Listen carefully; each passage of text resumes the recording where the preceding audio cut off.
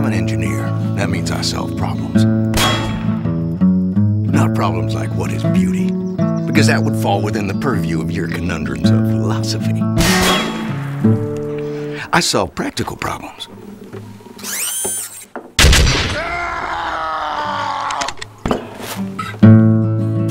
I thought I told you. I didn't come here to save you.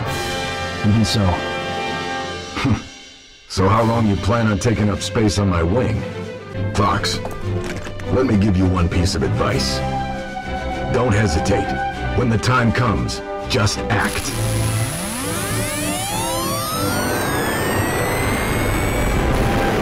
The Eight is Enough family. Lani O'Grady, Susan Richardson, Dianne Kay, Laurie Walters, and Grant Goodeve. On your marks. Let's start. Thank you. How are you? You're, we're here now. Is that it? Grant, I thank you for being here. thank you. Ready to do it? Already? Let's play the feud. But he does indeed whip them off occasionally. You're so cute. Ice cream? Why not? Why not? Sounds like a goodie. Ice cream. Hi, I'm Grant Goodeve, and one of the best ways to enjoy the beauty of the Northwest is to take a ferry ride across Puget Sound. People come here from all over to see the sights and to check out the great deals at the all-new Courtesy Auto Group. Wealthy in his own right?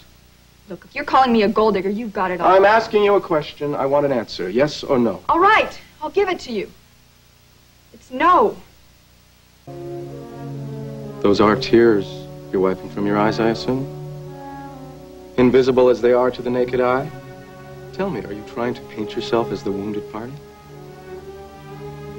What does that mean? Are you going to tell us now how you lay alone in your bed at night while your husband was out with other men? If so, you possibly know the names of these men?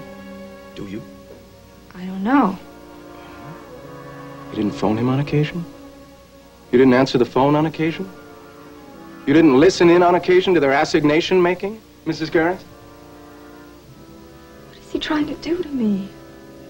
Mr. Deegan, you will stop harassing this witness. Harassing this witness? I have no more questions.